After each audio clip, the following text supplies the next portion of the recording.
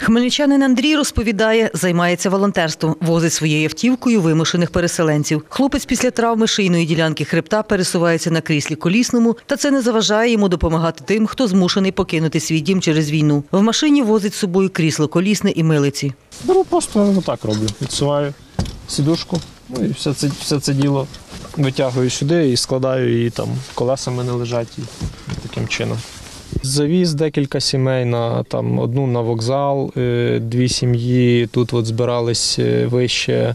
Автобуси везли до кордону, то також їх там забрав. Яка потреба є, то везу так. Каже, історії вимушених переселенців його вражають. Е, Одна сім'я п'ять днів їхали з Харкова. Тобто, може, можете зрозуміти, як це.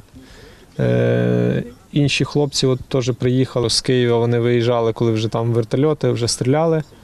Але каже, вони ще ви- виїхали нормально, а вже їхні друзі їхали, то вже по них стріляли. Тут декілька куль було в машині. і, Каже, одного хлопця врятувало те, що за сідушкою стояла баклажка з водою, і куля пробила баклажку і, не, і в ній залишилась. Андрій розповідає, мешкає в дев'ятиповерхівці без пандусів на сьомому поверсі. Тож, коли оповіщують про повітряну тривогу і вимикають ліфти, змушений залишатися в квартирі. Туди просто не цей не заїду.